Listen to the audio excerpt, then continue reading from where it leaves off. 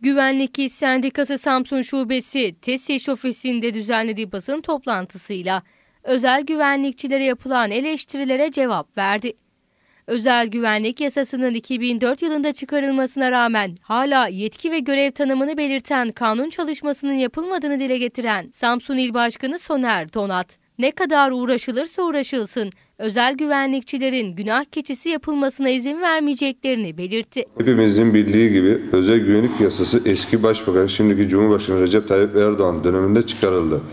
Yakın zaman içerisinde tüm basın kuruluşları Çağlayan Adliyesi'ne davet edilerek özel güvenlik görevlilerinin girişlerde yaptığı kontrollerde bulunduğu yüzlerce suç aleti tüm basın kuruluşları önünde sergilen, sergilenmemiş midir? O zaman özel güvenlik görevleri başarılıydı ve sizler de reklamını en iyi şekilde yaparak adliyede bu bizlerin başarısı dememiş miydiniz Sayın Cumhurbaşkanım? Boşu boşuna güvenlik görevlerine günah keçisi yapmayın.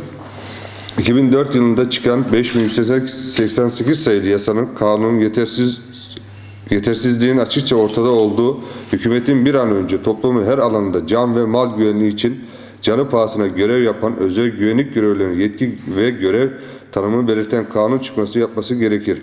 Artık bu düzenlemenin kaçınılmaz olduğu açıkça bellidir. Ne kadar uğraşılırsa, uğraşılırsa da günah keçisi olmayacağız.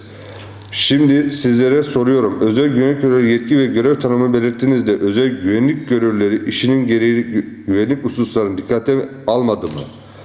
Burada sorgulanması gereken en önemli hususlardan birisi özel güvenlik görevlinin aldığı ücret ve özel güvenlik mesleğinin saygınlığı sorgulanması değil midir? Özel güvenlik görevlileri toplumsal olaylarda basına malum olan olaylarda artık günah keçisi olmaktan ve tartışılmaktan bıktık.